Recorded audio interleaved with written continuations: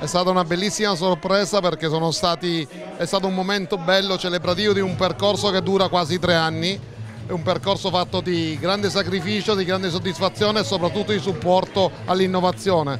Il merito non è solamente mio ma di tutta la squadra che lavora con me eh, dal parte del marketing ma soprattutto dell'innovazione tecnologica che hanno messo i nostri tecnici in tutto il lavoro che è stato fatto. Quindi grazie, grazie eh, per il premio ricevuto.